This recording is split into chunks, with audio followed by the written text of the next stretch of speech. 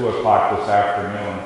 But the theological answer is that the promise of Advent and its beginning of its fulfillment at Christmas takes another giant leap forward today. God has come to be with his people. Jesus is going to take a giant step towards fulfilling the promise of his name. He is the God who saves us from our sins. So as we celebrate the baptism of our Lord again, I invite you to rise as we begin our service. We do so as always with our invocation. In the name of the Father, and of the Son, and of the Holy Spirit. Amen. God is light. In him there is no darkness at all. If we claim to have fellowship with him, yet walk in the darkness, we lie and do not live by the truth. But if we walk in the light, as he is in the light, we have fellowship with one another, and the blood of Jesus, his Son, purifies us from all sin. If we claim to be without sin, we deceive ourselves, and the truth is not in us. But if we confess our sins, he is faithful and just, and will forgive our sins, and purify us from all unrighteousness. I invite you to kneel as your people.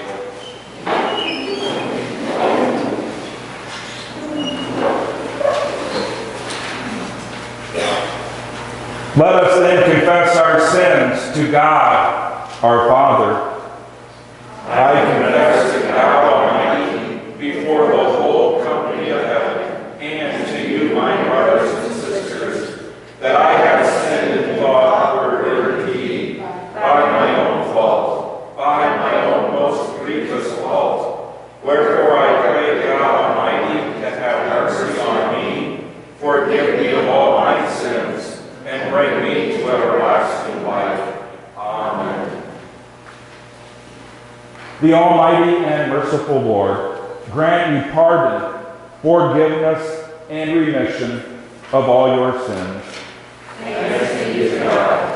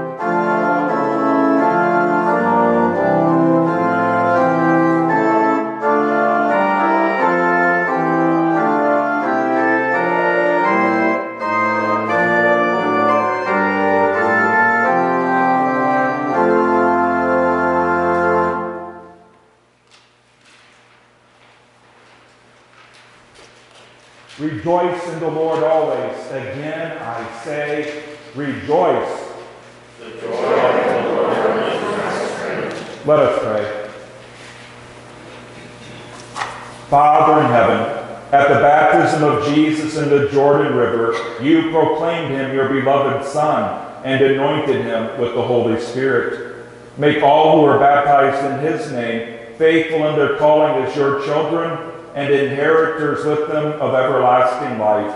Through the same Jesus Christ our Lord, who lives and reigns with you and the Holy Spirit, one God, now and forever.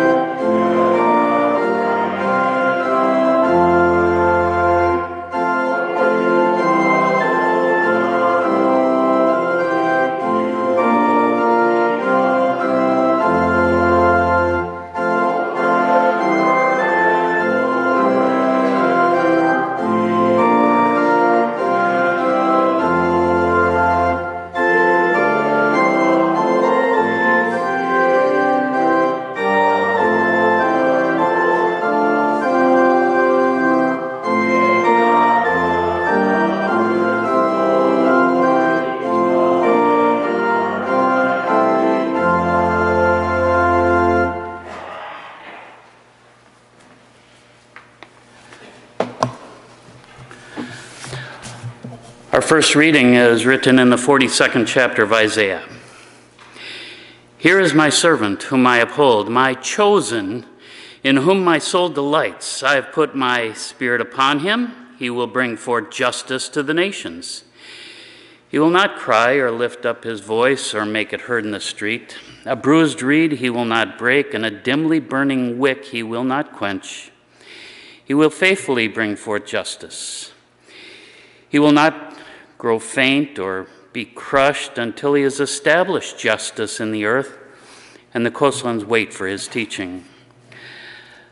Thus says God, the Lord, who created the heavens and stretched them out, who spread out the earth and what comes from it, who gives breath to the people upon it, and spirit to those who walk in it.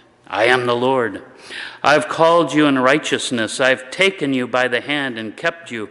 I've given you as a covenant to the people, a light to the nations, to open the eyes that are blind, to bring out the prisoners from the dungeon, from the prison, those who sit in darkness. I am the Lord. That is my name. My glory I give to no other, nor my praise to idols. See, the former things have come to pass, and new things now I now declare. Before they spring forth, I tell you of them. The word of the Lord. And our second lesson from the 10th chapter of the book of Acts. Peter began to speak to Cornelius and his household. I truly understand that God shows no partiality, but in every nation, anyone who fears him and does what is right is acceptable to him. You know the message he sent to the people of Israel, preaching peace by Jesus Christ, he is Lord of all. That message spread throughout Judea, beginning in Galilee after the baptism that John announced, how God anointed Jesus of Nazareth with the Holy Spirit and with power, how he went about doing good and healing all who were oppressed by the devil, for God was with him. We are witnesses to all he did, both in Judea and in Jerusalem. They put him to death by hanging him on a tree. But God raised him on the third day and allowed him to appear, not to all people, but to us who were chosen by God as witnesses and who ate and drank with him after he rose from the dead. He commanded us to preach to the people and to testify that he is the one ordained by God as judge of the living and the dead. All the prophets testify about him that everyone who believes in him will receive forgiveness of sins through his name.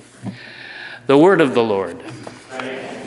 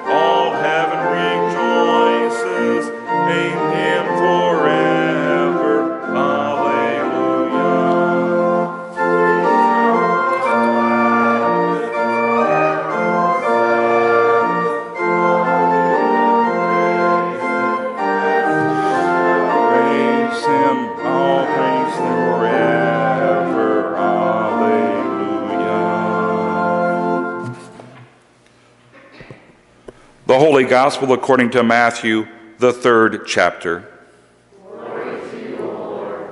Jesus came from Galilee to John at the Jordan to be baptized by him.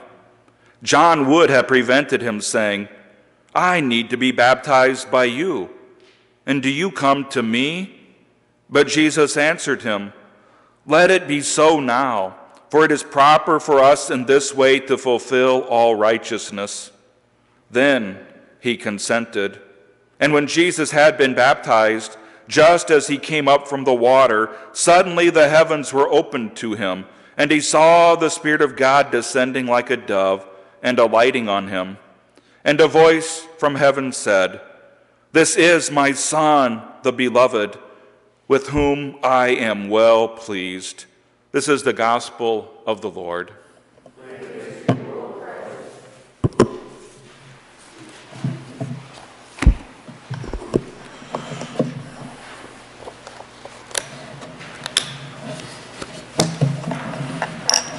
On July 30th, 1941, a prisoner escaped from Auschwitz, you know, the notorious Nazi concentration camp located in Poland.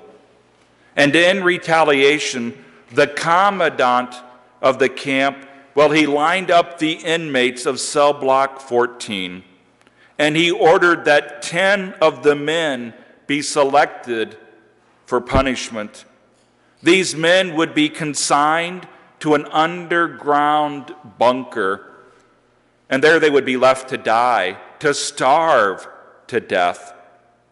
And as the men were selected, one of them cried out in tears, My poor wife and children, I'll never see them again.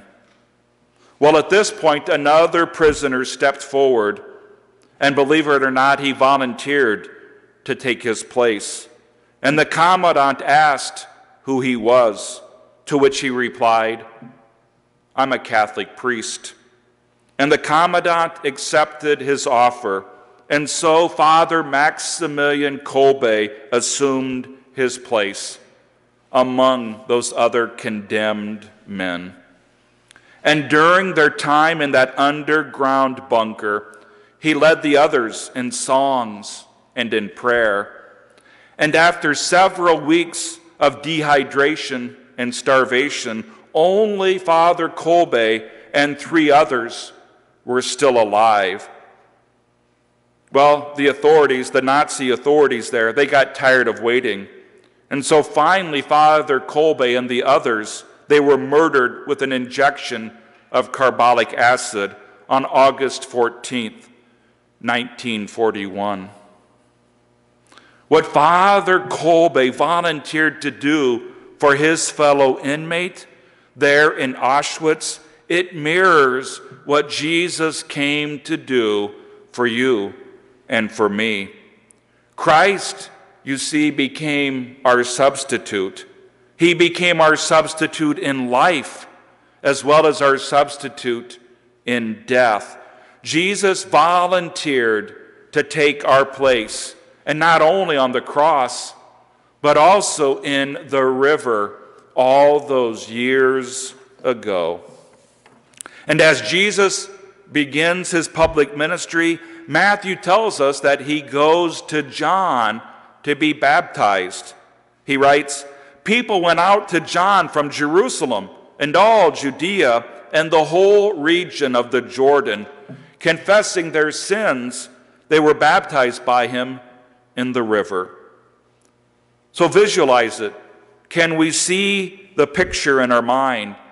Can you imagine Jesus rubbing elbows, literally rubbing elbows, with sinners surrounding him as they wait their turn to be baptized? And as I picture the crowd that day, I can't help but wonder what sins did they confess as they entered the water? Greed, gossip, pettiness, meanness, lust, jealousy, arrogance. Well, what about us? What about us who have gathered here this morning or who are worshiping at home? What sins did we come here to confess this morning? What sins do we need to own up to right here and now? Indifference to our neighbor, making politics an idol, wasting time on trivial pursuits instead of seeking first the kingdom of God. So, as we step into the Jordan River this morning with Jesus and all of those sinners, I'm reminded of something that Dietrich Bonhoeffer wrote. If my sinfulness appears to me to be in any way smaller or less detestable in comparison with the sins of others, I'm not recognizing my sinfulness at all. Oh, you see, when you get right down to it, spiritual pride, it remains the deadliest sin of all. As Jesus begins his public ministry, Matthew tells us that he left Galilee and he traveled down to the Jordan River. He went to see John.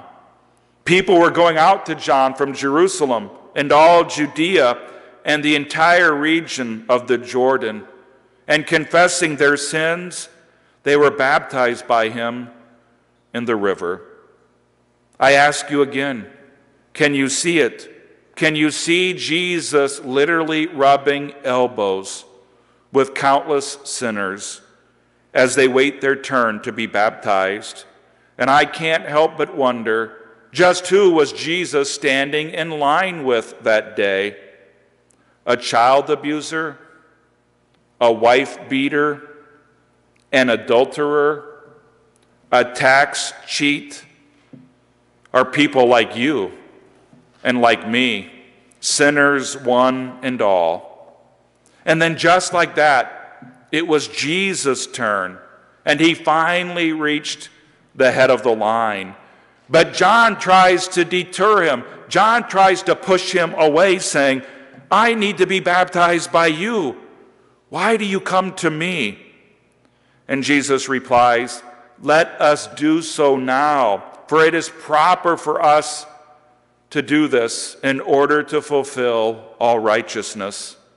And then, and only then, at Jesus' insistence, does John consent. What's going on there in the Jordan River? Well, the words that were spoken to Joseph 30 years earlier were literally coming true that day. Joseph, son of David, don't be afraid to take Mary home as your wife, because what is conceived in her is from the Holy Spirit. She will give birth to a son and you are to give him the name Jesus, because he will save his people from their sins. That's what the name Jesus literally means. Joshua, Yeshua, whatever language it's put into, it means the Lord saves. So, what's going on there in the Jordan River? And why did Jesus take his place in a line of sinners? as he begins his public ministry. Well, years later, the Apostle Paul has this to say God made him who knew no sin to be sin for us, so that in him we might become the righteousness of God. Well, Martin Luther, he thought long and hard about what that meant, and he calls it the wonderful exchange, writing, this is the mystery which is rich in divine grace to sinners, wherein by a wonderful exchange our sins are no longer ours, but Christ, and the righteousness of Christ is not Christ, but it is ours. He has emptied himself of his righteousness that he might clothe us with it and fill us with it. And he has taken our evils upon himself that he might deliver us from them. And in the same manner, he has grieved and suffered our sins and was confounded in the same manner. We now can rejoice and glory in his righteousness. Returning to Matthew and what he tells us about that day. As soon as Jesus was baptized, he went up out of the water. And at that moment, heaven was ripped open. And he saw the Spirit of God descending on him like a dove. And a voice spoke from heaven, saying, This is my Son, whom I love. With him I am well pleased. Well, as I think about the baptism of our Lord and its significance for the church at large and for you and me, I'm reminded of a song that's at the top of my list of those that I simply can't stand. I detest this song with every fiber of my being. You might have heard of the song. It's entitled From a Distance. Released in 1990, it near the top of the charts. It was sung by Bette Midler. Now, it's the chorus of this song that turns my stomach, literally almost making me sick. So, what's the chorus that sticks in my craw? God is watching us. God is watching us. God is watching us from a distance. Oh, God is watching us. God is watching us. God is watching us from a distance. But the baptism of our Lord proclaims otherwise. God is not watching us from a safe distance. God is with us. That was the message of Christmas. God is with us. He came to take up our infirmities and to carry our sorrows. And that's not just the message of Good Friday. That was also true the day that Jesus was baptized. Jesus is the God who gets his feet wet as he stands in that long line of sinners, waiting his turn to be baptized. God's beloved Son doesn't keep an arm's length distance from sinners. He came to embrace them one and all, and He joins us in our misery, and He even goes so far as to die with one on His right and one on His left. From the very beginning of His public ministry there in the Jordan River until His final breath on that hill called Calvary, Jesus takes a stand with sinners, you know, people like you and people like me. It was for our sakes and for our salvation that Jesus lay in the manger. And it was for our sakes and for our salvation that he set foot in the Jordan. And it was for our sakes and for our salvation that he insisted John baptize him. And it was for our sakes and for our salvation that he went on to suffer under Pontius Pilate, to be crucified, die, and be buried. Is it any wonder then why the baptism of our Lord was such good news for someone like Matthew? Because a hands off God wouldn't do that tax collector any good. Matthew was dead. He was dead in his sins until Jesus showed up at work one day. Matthew writes about that life changing moment. As Jesus went on from there, he saw a man named Matthew sitting at the tax collector's booth. Follow me, he told him. And Matthew got up and followed him. While Jesus was having dinner later that day at Matthew's house, many tax collectors and sinners came and ate with Jesus and his disciples. And when the Pharisees saw this, they asked his disciples, Why does your teacher eat with tax collectors and sinners. And on hearing this, Jesus said, It's not the healthy who need a doctor, but the sick. Go and learn what this means. I desire mercy, not sacrifice. Well, I've not come to call the righteous, I came for sinners. Well, let's return one more time. Let's return one final time to the Jordan River. What's Jesus doing there as he approaches John? What is Jesus doing as he goes under the water? He was carrying out his Father's will. He was doing the job that he and he alone could do. He was saving sinners. He was saving us by taking our place. So, is it any wonder that heaven burst open that day and the Father thundered with pure joy? This is my Son, my beloved, and with him I am well pleased. Jesus, you see, was sent by the Father to save the likes of Peter, James, and John. He was baptized for the likes of Matthew and the woman at the well. He came for Nicodemus and Mary Magdalene. He even came for Caiaphas and a man initially called Saul. But that's not all, not by far. He was baptized for you and for me, and he takes our sin upon his shoulders, and in exchange, he gives to us his perfect righteousness. We are now blameless, completely blameless in his Father's eye. Because you see, when you get right down to it, from beginning to end, Matthew's gospel is about our Emmanuel. God has come to be with his people. And the first gospel ends with this promise of our Lord, the final words of Jesus, which ends Matthew's account of the gospel. I am with you always, even to the close of the age. Jesus is with us in our pain and our sorrow. Jesus is with us in the darkest of days.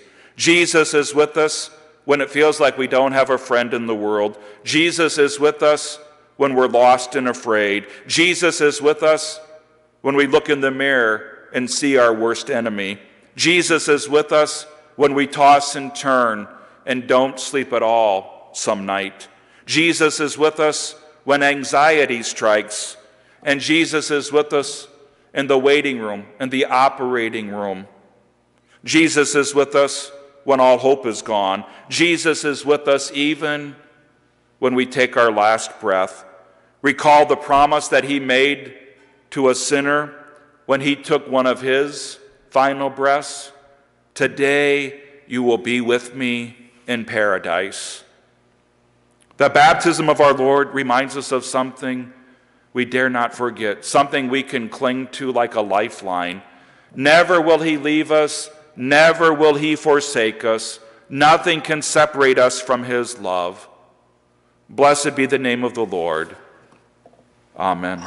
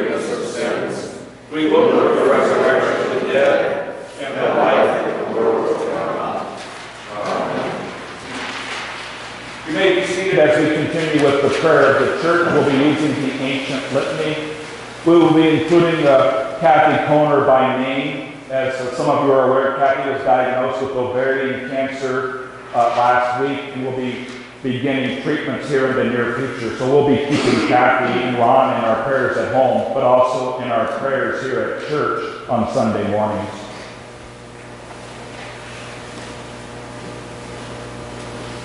O Lord, Have mercy. O Christ, Have mercy. O Lord, Have mercy. O Christ, Hear us. God the Father in heaven. God the Son, Redeemer of the world, Have mercy. God the Holy Spirit, Have mercy. be gracious to us, Spare us, good Lord. be gracious to us Help us, good Lord. from all sin, from all error, from all evil, from the crafts and assaults of the devil, from sudden and evil death, from plague, pestilence, and famine, from war and bloodshed, from sedition and from rebellion, from lightning and tempest, from all calamity by fire and water, and from everlasting death.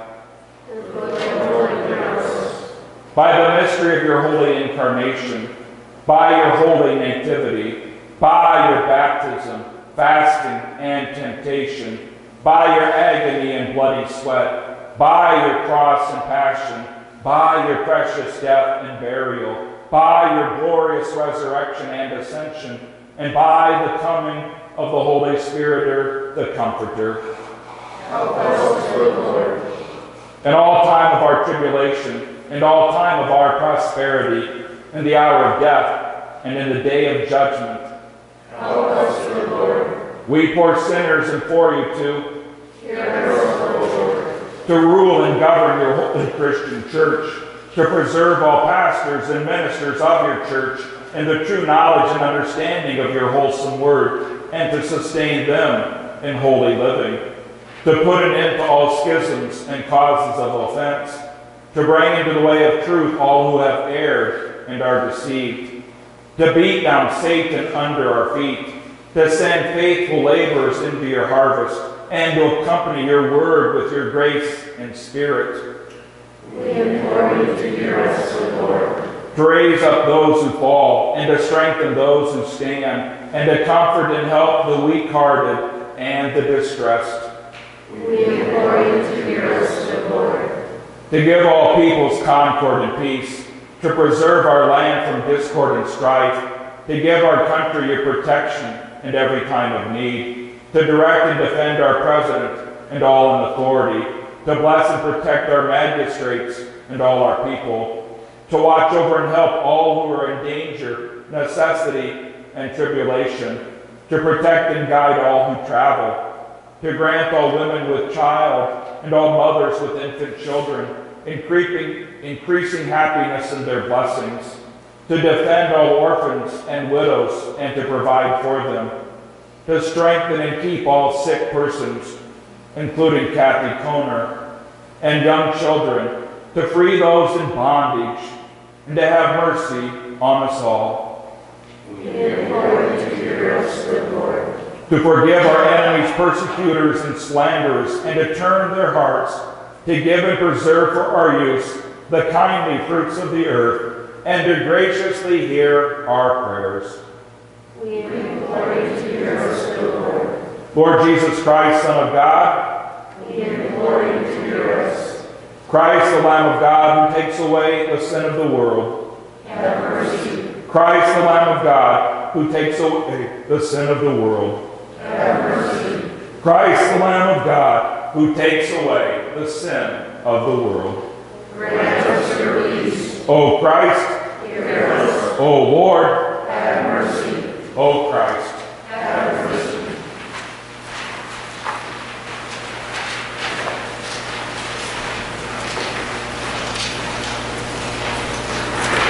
Eternal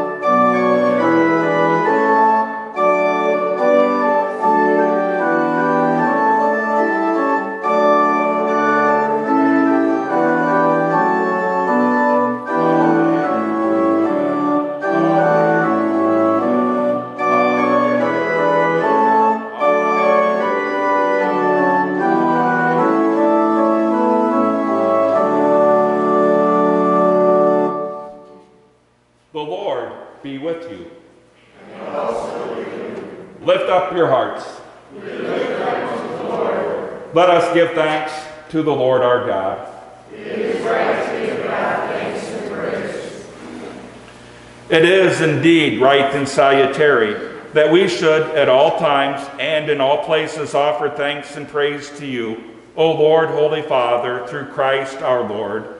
Sharing our life, he lived among us to reveal your glory and love, that our darkness should give way to his own brilliant light. And so, with the church on earth and the host of heaven, we praise your name and join their unending hymn.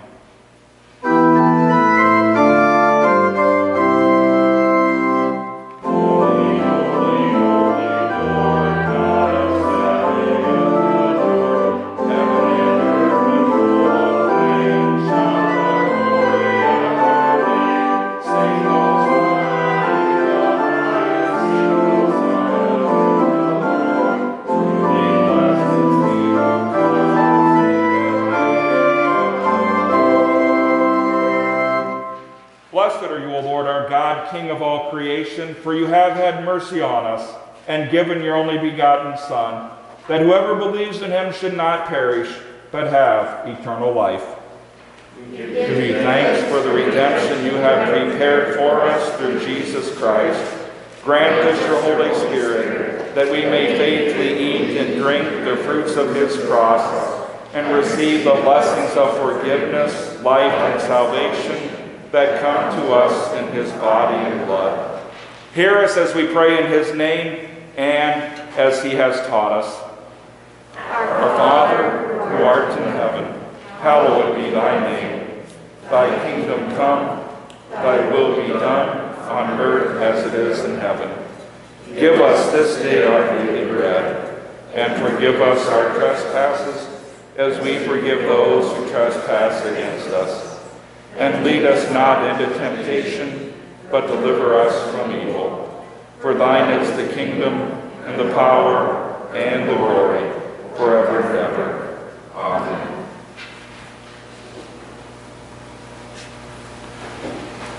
Our Lord Jesus Christ, on the night that he was betrayed, took bread, and when he had given thanks, he broke it, and he gave it to the disciples, saying,